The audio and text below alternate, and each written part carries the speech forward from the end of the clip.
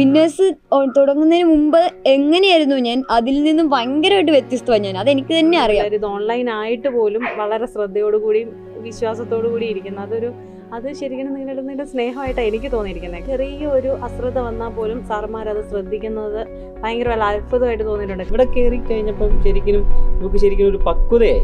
അവൾക്ക് എന്തായി തീരണം എന്നുള്ള ഒരു കണക്കൂട്ടിൽ അവൾക്ക് തന്നെ ഉള്ളിൽ അത് ഞങ്ങളോട് പറയാൻ തുടങ്ങി നമ്മളെ വീട്ടിൽ നിന്നുള്ള മാറ്റം കാണുന്നതൊക്കെ കൂടുതൽ ടീച്ചേഴ്സ് പോലും ശ്രദ്ധിക്കാൻ തുടങ്ങി. ഓരോ ടീച്ചർമാർ എന്നെ വിളിച്ച് ചോദിക്കും ടീനു എന്നാ പറ്റിയ? എങ്ങനെ എവിടെ ട്യൂഷൻ ഉണ്ടോ? അതോ എങ്ങനെ ടീനു ഇപ്പം എന്നാ സംഭവിച്ചത്? നന്നായിട്ട് പഠിക്കാൻ തുടങ്ങിയല്ലോ?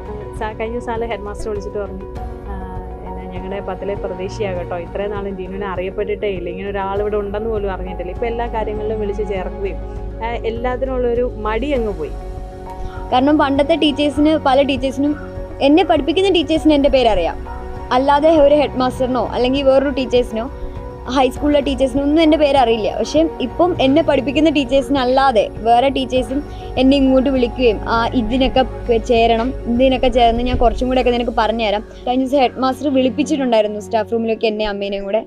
എന്നിട്ട് കുറേ കാര്യങ്ങൾ പറഞ്ഞു. അന്നേരം ഞാൻ ഹെഡ് മാസ്റ്ററിനോടും പറഞ്ഞു ഇന്നപോലെ വിന്നേഴ്സ് എന്ന് പറഞ്ഞ ഒരു ട്യൂഷനുണ്ട്. ട്യൂഷനകത്ത് ഞാൻ പഠിക്കുന്നുണ്ട്. അങ്ങനെയാണ് ഇപ്പോൾ പഠിക്കാൻ തുടങ്ങിയത് എന്തായാലും നല്ല വ്യത്യാസമുണ്ട് പണ്ടത്തെക്കാളും ഇപ്പോഴത്തെ ഈ ഒരു ശരിക്കും പിള്ളേർക്ക് മടുപ്പ് തോന്നുന്നില്ലല്ലോ.